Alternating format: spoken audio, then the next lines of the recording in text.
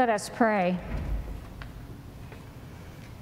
The days are surely coming, says the Lord, when I will make a new covenant with the house of Israel and the house of Judah. I will put my law within them, and I will write it on their hearts. I will be their God, and they shall be my people. Amen. Amen. May it be so. Our first lesson this morning is from the prophet Jeremiah. More is known about Jeremiah than most of the other prophets in our canon of Scripture. Jeremiah lived during the most crucial period of Judah's existence as a kingdom. He saw the destruction of Jerusalem and Solomon's temple after he had relentlessly warned his people to mend their ways before it was too late. After this catastrophe, tradition holds that he wrote the book of Lamentations, in which he bitterly lamented Israel's terrible fate. And some scholars refer to Jeremiah as the weeping prophet. Jeremiah was born of a priestly family of the tribe of Benjamin, and his call to prophetic ministry came when he was young. In the year 626 BCE, God called to Jeremiah, saying, Before I formed you in the womb, I knew you, and before you were born, I consecrated you. I appointed you a prophet in the nations. To which Jeremiah responded, Ah, Lord God, truly I do not know how to speak, for I am only a boy. God then touched his mouth and said, Now I have put my words in your mouth. God called to Jeremiah to prophesy of Jerusalem's coming destruction that would occur from invaders from the north. This would happen because Israel had been unfaithful to the laws of the covenant and had forsaken the Lord by worshiping the Canaanite fertility god Baal. Because Israel had strayed so far from God, they had broken the covenant, resulting in God's withdrawal of his blessings.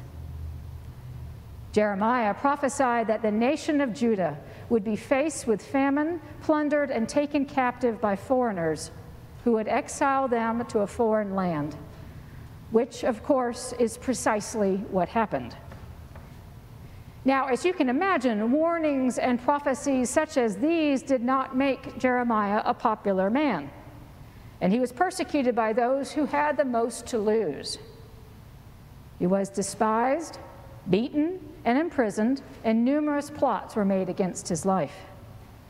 Finally, after Jeremiah prophesied that Jerusalem would be handed over to the Babylonian army, the king's officials put him down a cistern where he sank deep into the mud. It would seem that the intention was to let him die of starvation, but he was later rescued by a foreigner, although he remained imprisoned until the city did, in fact, fall to the Babylonians. Being a prophet of God is a rough business indeed, and being correct only makes things worse. While Jeremiah lamented Israel's fate, he also proclaimed God's everlasting love and coming redemption of his chosen people. That from the faithful remnant of this destroyed kingdom, God's love would nurture and grow a great nation. From the wasteland of emptiness and death, the Lord God of all creation will bring forth new, surprising, and vibrant life. Through Jeremiah, God reminds his exiled children of his pledge of love and joyful renewal of life, saying, I have loved you with an everlasting love. Therefore, I have continued my faithfulness to you. Again, I will build you, and you shall be built, O virgin Israel. Again, you shall take your tambourines and go forth in the dance of the merrymakers. Later in this very same chapter comes our lesson this morning from Jeremiah. In it, Jeremiah prophesies a new covenant. The days are surely coming, says the Lord, when I will make a new covenant with the house of Israel and the house of Judah. Moreover, he explains that this new covenant will not be like the previous one, made with the people in the days of the Egyptian slavery and written on stone tablets to easily forgotten and disobeyed. Instead, God promises that in the future, I will put my law within them, I will write it on their hearts, and I will be their God, and they shall be my people. For I will forgive their iniquity and remember their sin for no more. What an Easter promise to hear in the midst of this long, dry Lenten year we have had. Now, this new covenant isn't new in that God's divine law is different. The newness of this covenant seems primarily to be how it will be received and made active.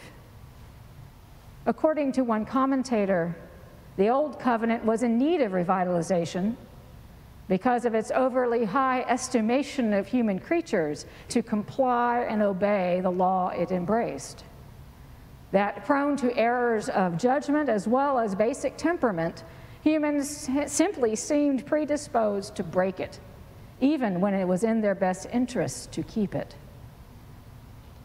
Jeremiah seems to acknowledge this when he describes God's disappointment in the face of, quote, a covenant that they broke, though I was their husband. This new covenant that God promises will be entirely different from the old, and that God's divine love, divine law, excuse me, the law of love, will be engraved on the human heart. God promised to pour out his grace upon the people to grant them help from within to keep the covenant faithfully. Jesus seems to, Jesus, Jeremiah seems to realize that humanity simply does not have the capacity to heal itself. Rather, humanity is healed by remembering our relationship of belonging. When we remember that God is ours and we are God's. The founding principle of this new covenant is I will be their God and they shall be my people. And this relationship of belonging will be renewed when God writes the divine law on our hearts. The new will for humanity will be the result of something that God does. God will write the capacity for keeping the covenant on the inward hearts of the people.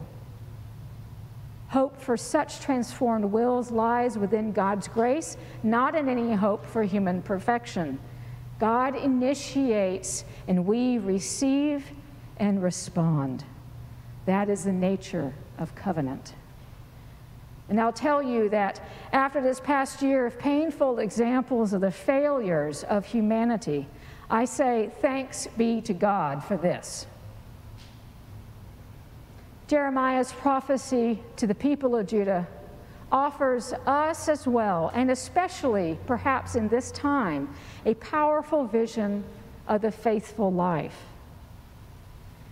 Invited to receive the law of love into our hearts, we will know God in a new way. As the one who seeks constantly to reconcile us and the one who speaks directly to the heart. This grace filled life is given to us and lived out by us in response to God's initiative in renewing our relationship of belonging. So, what might it be like to have God's law, the law of love, engraved on our hearts? How might we be different if we truly knew ourselves to belong to God and for God to belong to us? Perhaps we would not find ourselves so easily engaged in the all too ordinary and yet so destructive petty struggles for power and esteem.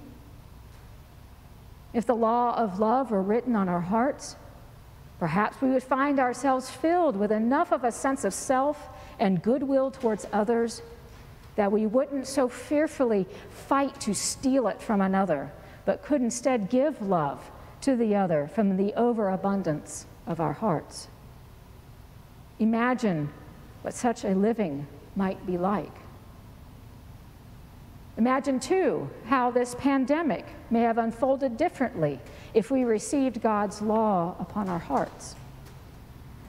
Perhaps our fearful grasping at the delusions of personal freedom would have fallen away, and instead we remembered and embodied God's imperative to love our neighbor and protect the most vulnerable. How might that have changed the course of this past year? I think that in these weird pandemic times, living out God's law of love, love of God and of neighbor, looks like wearing masks to protect others, maintaining social distancing, and getting vaccinated when it is available and medically appropriate for us to do so. And now is certainly not the time to relent in our practices of community responsibility. This week has seen the beginning of an increase in community transmission of the coronavirus after weeks of decline. God's law of love demands that we recognize that our desires for self determination and liberty must not infringe upon or endanger others. Rarely have we lived in a time wherein our individual actions are so explicitly and quantitatively tied to community well being we can literally measure our love of neighbor in daily case counts. To have God's divine law engraved on our hearts means to know and respond in our lives with the understanding of our responsibility for each other. God's love demands reciprocity. Not only love returned to God, but given to those whom God loves, which is all of humanity. This law of love is truly a grace filled gift, but it is also a demanding and sometimes costly one. But fear not. To have God's divine law engraved on our hearts is also to experience salvation, to draw deeply from the waters of eternal life. Jeremiah's prophecy of a new covenant is a powerful herald of the good news that will be preached and embodied in Jesus. Looking forward to Holy Week, which begins next Sunday, let us begin to contemplate how God makes room within our hearts for the grace of much needed resurrection. Amen.